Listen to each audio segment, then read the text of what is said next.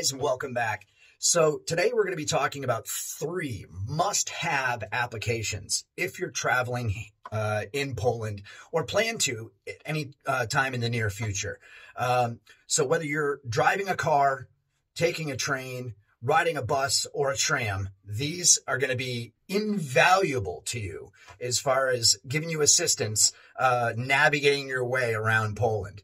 Um, I know for myself, when I first came here, um, things were a little difficult because not all the signage uh, is available in English, um, but these applications are. So that's a huge help. Plus, they also uh, give you a one stop shop for paying for everything from parking to bus fares um, and uh, rail transportation tickets. All of this is all available on the apps. So you you don't have to be worried about uh, you know, am I saying the right things? Am I talking to the right people? Um, is this, you know, uh, the right line? This will be able to help you out with all of that. So uh, the first one we're going to be talking about is the Mobilet app. Now, this is really only going to apply to you if you're driving here in Poland. Um, so this will handle all of your parking um, for the majority of the cities uh, throughout Poland. Some of the smaller cities don't utilize uh, Mobilet. Um, you still have to pay by parking stand, but this is a really super handy application, and we'll talk more about it here.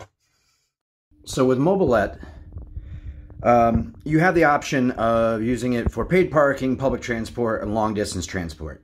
I will say that for public transport and long distance transport, this is not the app that you're going to want to utilize. Um, I use this strictly for paid parking. So as you can see, some of the different cities um, that uh, I visited, um, we can just click on a city. As you're parked in an area, you'll see that there's uh, signs letting you know which um, parking area you're in. Um, but this also does give you GPS location.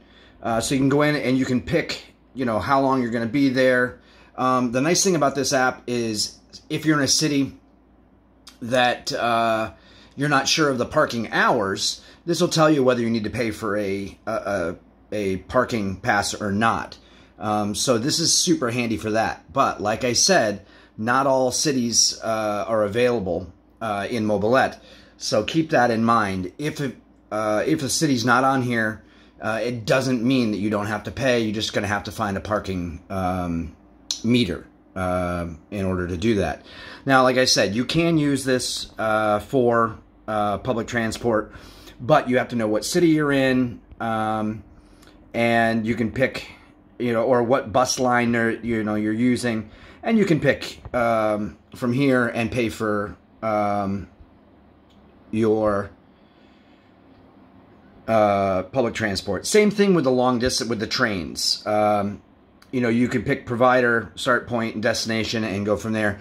It's not the greatest, but it does work. Um, and there are a couple of lines that aren't available in the other apps uh, that you can utilize through this. So just keep that in mind.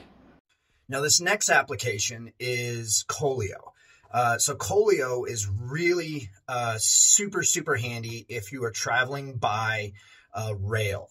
Um, there are uh, multiple different rail companies in uh, Poland, and Koleo handles the majority of them. And if it doesn't handle a specific rail section, it will link you to the site that handles uh, the payment for that uh, specific rail. But I think at this point, they pretty much have it all covered. So uh, Koleo is going to be the next app we talk about. So now with Koleo, um, it's super, super simple. Um, you can just put in your starting station. You can even use GPS location to do so just by hitting uh, the GPS button, and uh, it'll give you the closest, uh, you know, your closest station, and then you pick your ending location. Um, you can pick, uh, you know, dates uh, and hours that you want to travel out, and it'll give you the closest trains um, to when you wanted to depart. Um, now, um, the thing here in Poland is if you're traveling uh, to you know uh, to a location all the time, uh, sometimes getting season tickets make the most sense. So you can come on um, like the line that's most popular around here uh, is this one.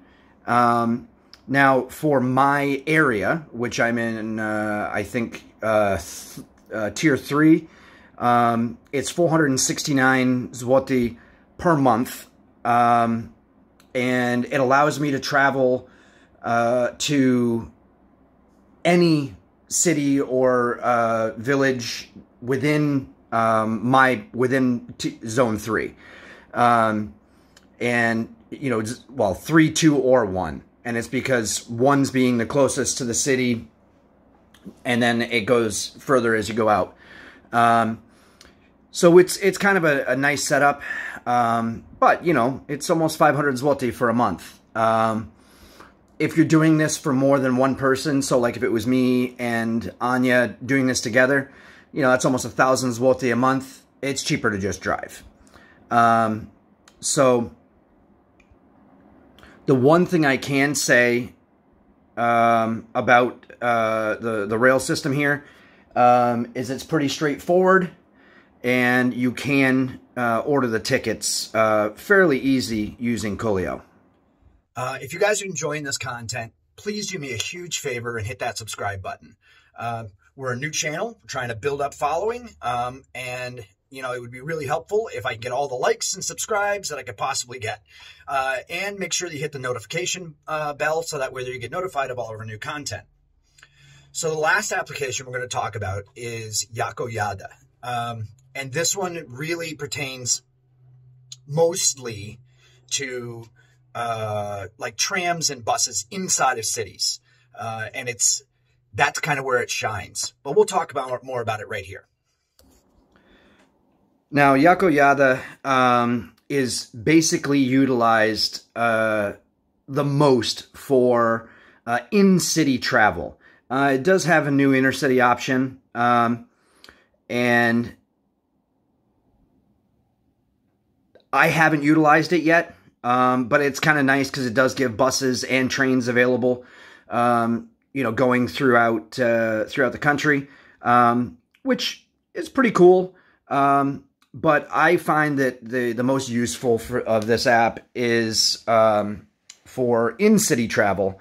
Um, so I can uh, check by uh, GPS the same as others, uh, and then I have an ending point that um, I can put in, and it gives me the um, exact routes of the buses and trams, the timelines. And the cool thing is, is the GPS for this is exceedingly accurate. Um, you know, because there are some bus uh, stops where it, you have one going one direction on one side of the street and one going the other on the other. So you need to know exactly which uh, it may be the exact same number, but you just have to know which side of the street you need to be on. So this will do it. Um, and like I said, this is best in city for using uh, trams and buses.